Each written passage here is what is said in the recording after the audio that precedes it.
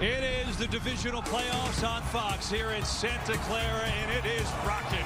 The Dallas Cowboys and the San Francisco 49ers, and we say welcome to the booth. He's Greg Olsen, I'm Kevin Burkhardt, and man, is this going to be fun. Stars all over the field.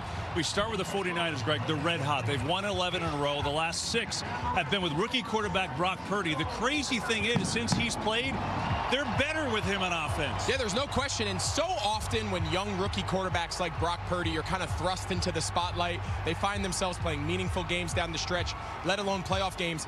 The expectation is just kind of stay out of the way. Don't mess it up. The reality here in San Francisco, the 49ers are not winning in spite of Brock Purdy. Oftentimes they're winning because of Brock Purdy. Yeah. Meanwhile, on the other side, you got the Cowboys. They haven't been to a championship game in 27 years. Dak Prescott played maybe the best game he's had in his career last week. This feels, though, like a legacy game for him.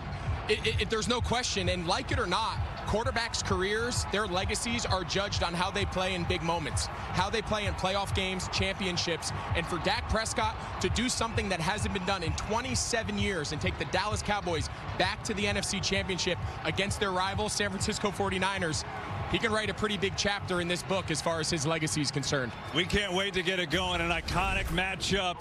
It's the Cowboys and the 49ers divisional playoffs and kickoff on Fox. Coming up next. Well, if you want a great rivalry, you got to check all of the boxes, and Cowboys and 49ers does that with nostalgia, right? All the history with these two teams. Classic uniforms. Everyone knows when these two teams are on the field. Hostility, oh, we got that too. And don't forget this, yeah, iconic moments. It's all there, and we have it for you today. The 49ers and the Cowboys next.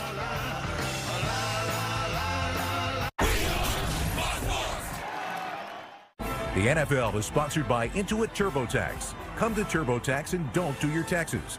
Meet with an expert who'll do them for you so you can watch more football.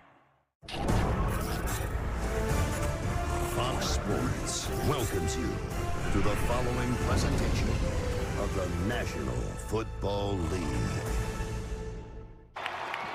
Welcome to the divisional playoff presented by Intuit TurboTax here in Santa Clara. Cowboys and the 49ers just moments away from kickoff as we go downstairs and say hello to Erin Andrews. Hi, Kev. It's the question everybody is asking. When is this 49ers quarterback, Brock Purdy, going to start looking and playing like a rookie? Everyone thought it was going to be last week against Seattle on Saturday.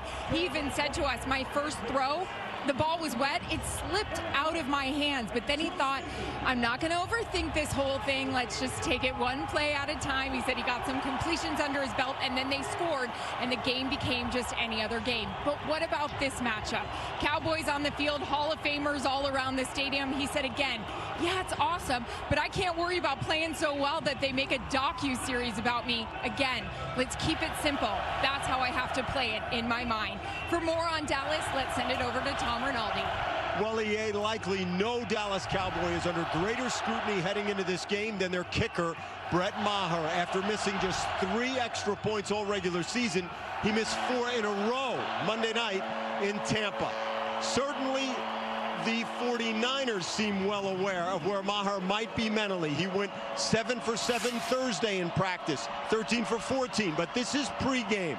Deebo Samuel working in and through the area where Maher was attempting to warm up at one point. Then Trent Williams came over to get involved in the mix as members from both staffs had to separate the players.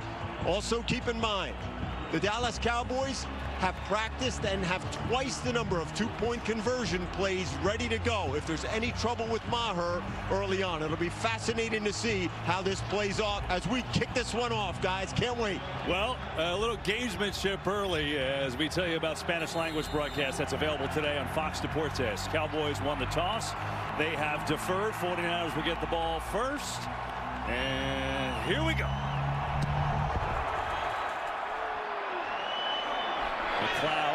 About it. He's going to let it go, and so the 49ers will come on out.